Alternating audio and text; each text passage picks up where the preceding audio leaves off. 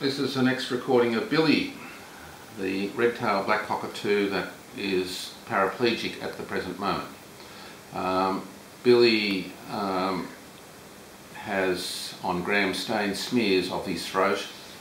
He has a massive infection with or, or over, over uh, population with very tiny gram negative rods and in the feces there are still quite a few bacteria present. The bacteria that are present in the feces uh, appear to be the normal normal ones.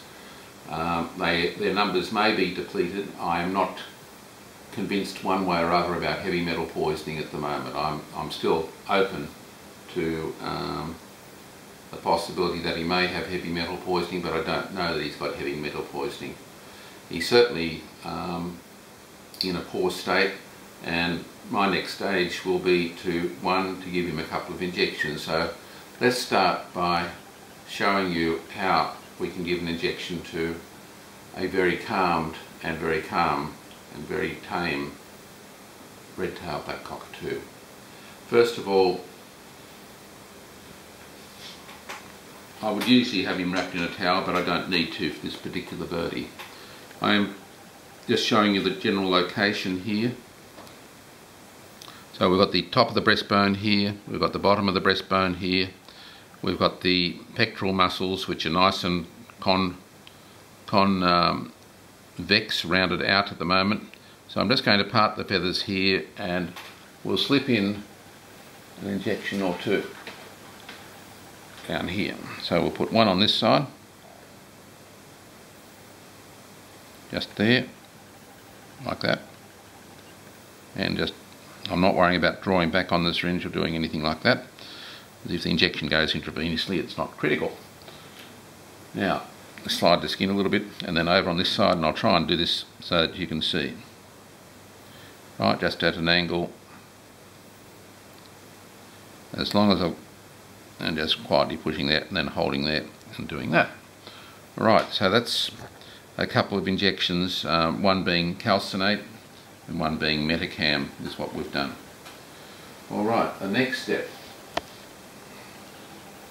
is how do we give a black cockatoo, uh, the next step is how we give a black cockatoo drops by mouth. Basically we have the birdie upright, that's the first step.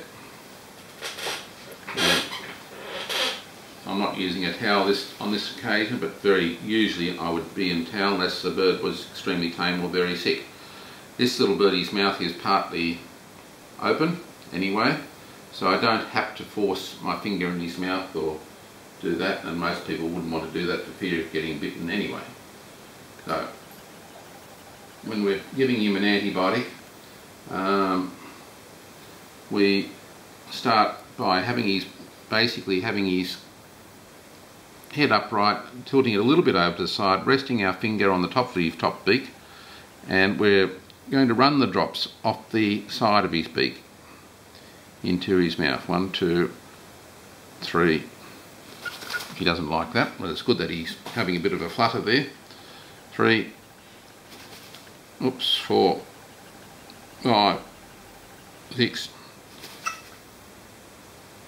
seven, eight, Give him time to swallow. Tilt his head back a little bit, but not over on his back. 9, 10, 11,